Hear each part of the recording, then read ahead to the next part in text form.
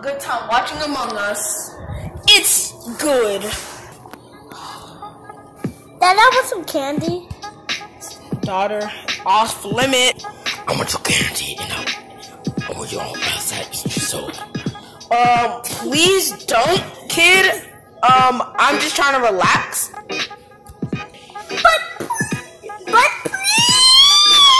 please. No, I said no. Now my sister's coming over, so you better behave. Okay, but I want some candy. Maybe she can give you some. Who is it? It was. I want some candy, please. Okay, first you have to me in.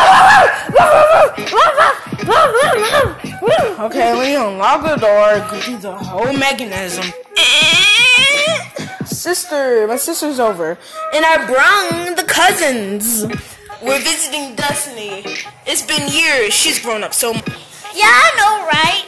Candy. Here goes a piece of my favorite chocolate bar. Yuck! Yuck! Oh god, she's going hyper mode. She's going Super Saiyan.